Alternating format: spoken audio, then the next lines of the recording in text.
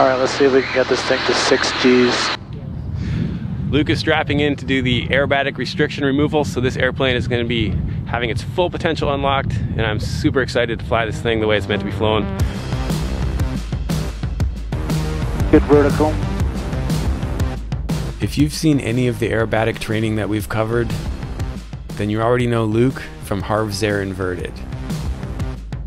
This longtime friend of the Flight Chops channel is here to take the RV-14 to the next level. All right, Steve, I think you got yourself an aerobatic airplane. All right, this is pretty exciting. Been waiting to do this for a long time. Yes! The next three days are going to be busy. Looking at the schedule of the weekend and like what weather we have and what we want to get done and trying to figure out can we get it all done. I think we can. And of course, Luke couldn't not fly the museum airplanes as well. So Luke is getting the Canadian Aviation Museum crew experience. He's doing the Chipmunk checkout now, and we're gonna try to get him into the Harvard solo within a couple days, which I think for Luke is gonna be possible.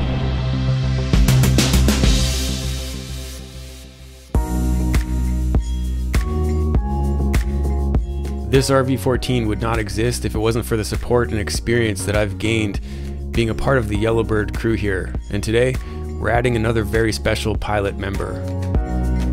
I'm excited to have Luke Penner here. The impetus was to get the RV-14 aerobatics restriction removed, but we're going to do a lot more than that, having him sign up and go through an accelerated training program to be a part of the Yellowbirds. What's the biggest tailwheel airplane you ever flew? Biggest one, probably a Sukhoi 26. We're gonna do the first flight in the 14. That that's uh, your AFR, your, your essentially endorsement to solo the 14. You're gonna do the acro sign off in the 14. At some point, whether it happens immediately after or later, Steve needs to get his acro sign off in the 14. I want to send you out with Ron for the acro in the in the Harvard. I mean, I could do it, but not as well as Ron. so Love it. Ron continues to be a major part of this community. He signed me off to solo the T6. He still flies all the airplanes here, but has since passed the chief pilot mantle to Dave. And Luke's flight requires him to be solo, which is why he needed to do the insurance sign off flight with the chief pilot. When you're going to qualify the airplane, you're going to take it to the G limit? Any maneuver you can do with four, no problem. Oh, for sure. I can take it to six if you want. Transport Canada outlines it's called the simplified aerobatic, you know, one-off, yeah, simplified one-off aerobatic uh, demonstration flight. They provide a list of the things that you're supposed to do. Experimental airplane, the airworthiness of it depends on who built it. So when your airplane is built and it's finished, um, it's you know, it's good for a, number of things. You know, day VFR, it's very limited in its envelope. It has to be proven in other areas, aerobatics being one of them, as opposed to a certified airplane where it's gone through a regulator to prove, you know, all the things that need to be proven with strength and, and all that stuff in the long term. Clear!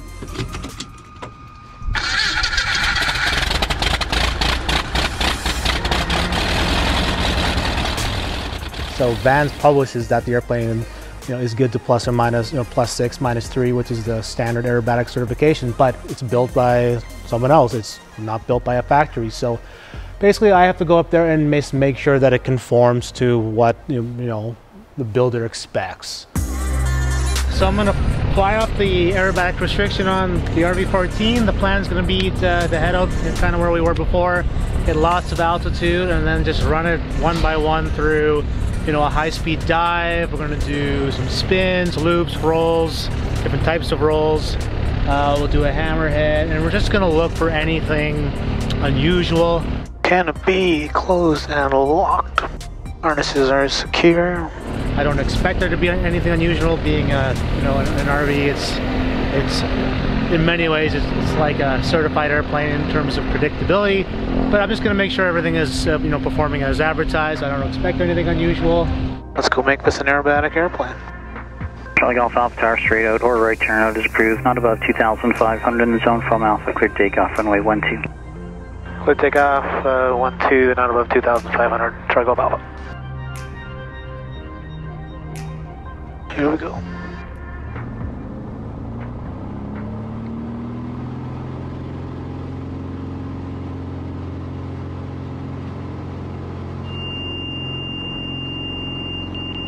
Flies. A machine.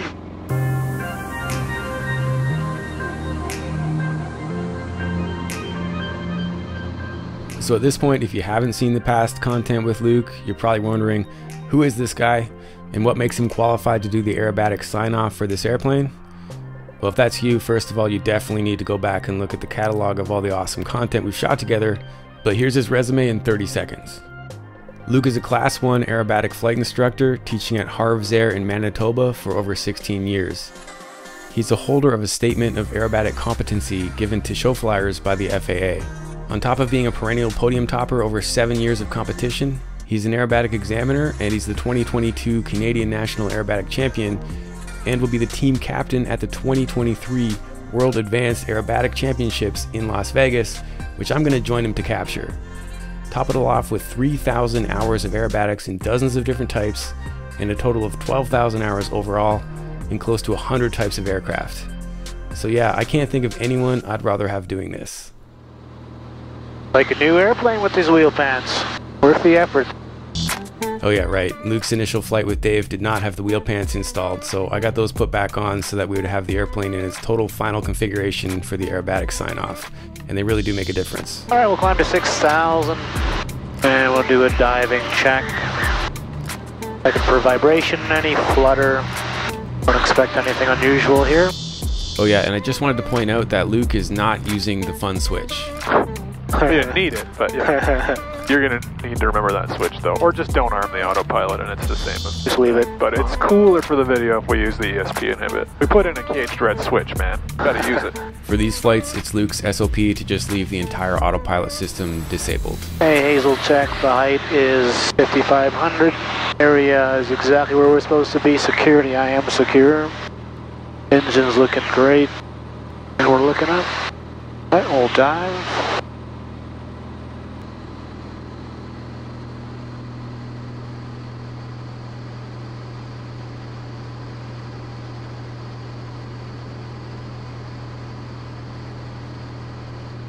Everything's good there. South 782 with you through uh, 9,000. Controls get a little heavy beyond 170, but that's to be expected.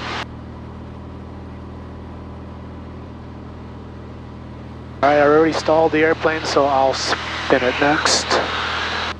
One and a half rotation, turn to the left. Clearing the area, power's coming off.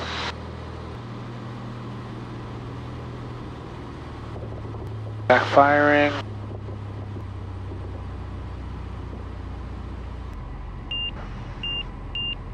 All's approaching. Ah, one. No drama. Sink rate. Man, I could stay up here all day. This is awesome. Alright, clearing turn is good. Try a one and a half turn spin to the right.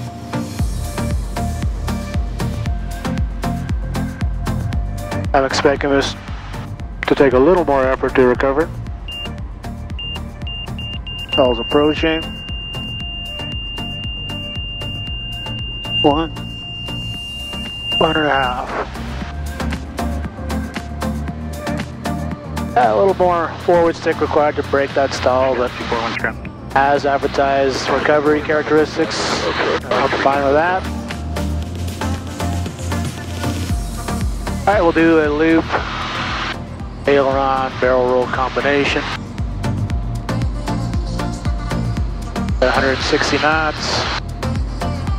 Here we go.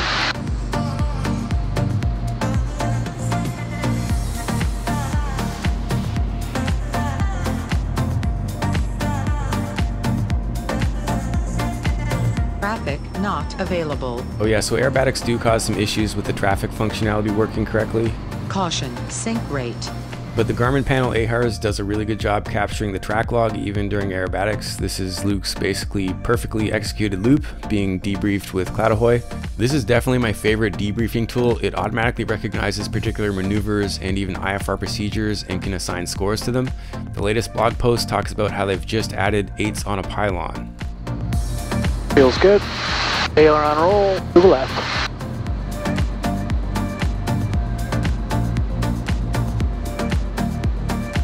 Yeah, I went up there and you know I flew nearly to VNE, making sure that there was no vibration, any unacceptable control loads, no hint of flutter, um, which there wasn't as we expect because it's, it's a very reputable kit. And to the right.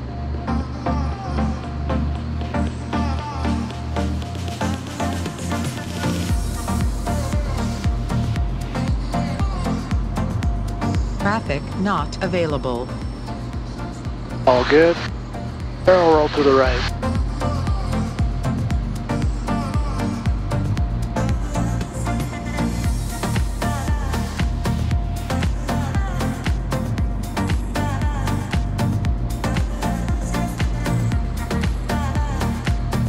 And to the left.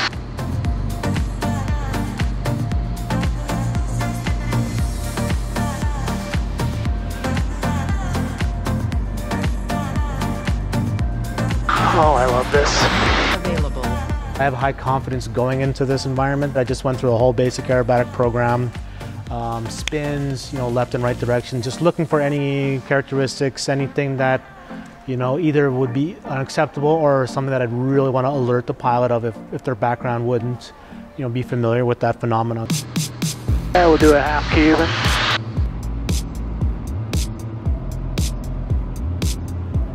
Traffic not Next, I'll do a Humpty Bump.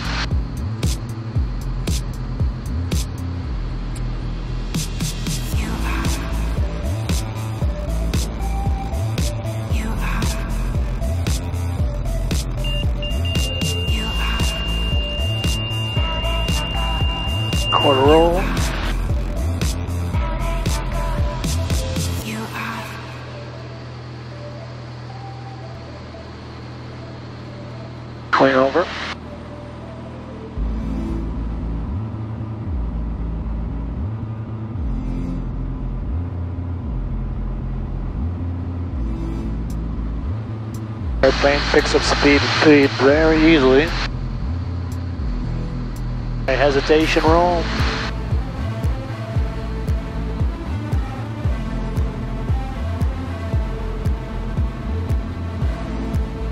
Traffic not available. Four point. Uh, eight point.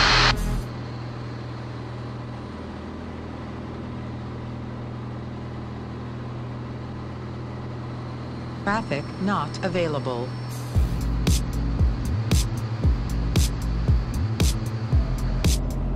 Hey, I'll do a hammerhead. 160.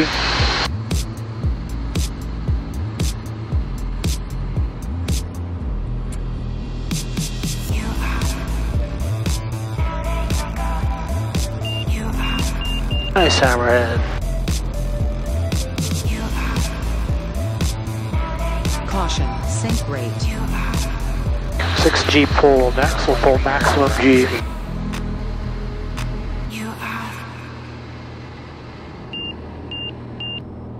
Didn't quite get there.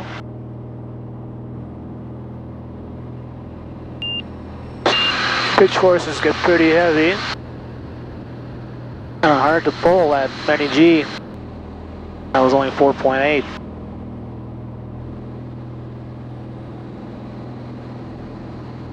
Caution, sink rate.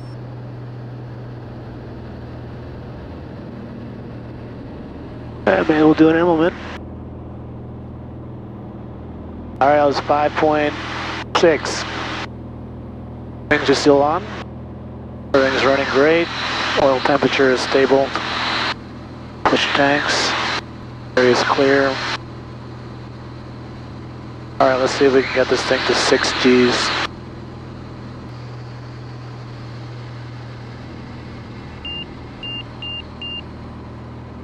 Nope. I'll try it again. Maybe I'll try a little less airspeed. Reduce the stick forces a bit.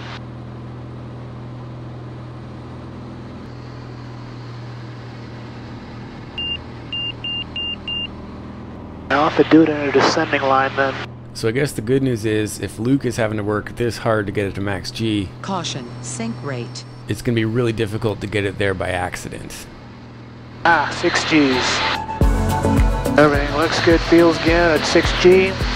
All right, Steve, I think you got yourself an aerobatic airplane. And the stick forces are just heavy, that's just the thing. That's why I'm flying with two hands. And I could be here all day, but I better go back. I'm happy with the airplane, Steve. You got a great one here. We went to 6G, no issue. All maneuvers uh, perform as advertised. Oh, I didn't take a picture yet. That's unacceptable. There was nothing weird. Everything was as expected, as advertised throughout the whole range. And then uh, was satisfied with that, came back, and then deemed it uh, ready to do aerobatics. So next up in this series, I'll be jumping in with Luke to get my training and sign off to fly aerobatics in this airplane.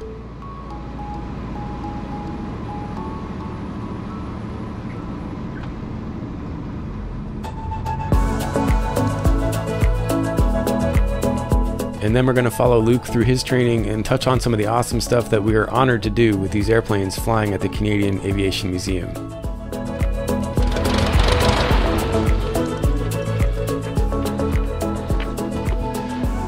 She passed? Oh yeah. Thanks, man. Six That's G's. awesome. Six G's? Six G's. Oh boy, right there. Tore that, you know, that tore that sticker off that says we're restricted. Yes! Left some glue. it's gone. Until the next one, keep your flight chops sharp. Make sure he gets it all the way to six. I want to know that it's good for all my mistakes. Good point. He said, well, I'm glad I'm wearing a parachute. You know, it'd just be nice to know that it's been cleared all the way to six. Okay. Delta Mike Echo, tower number one. Glad I brought a parachute. yeah, right.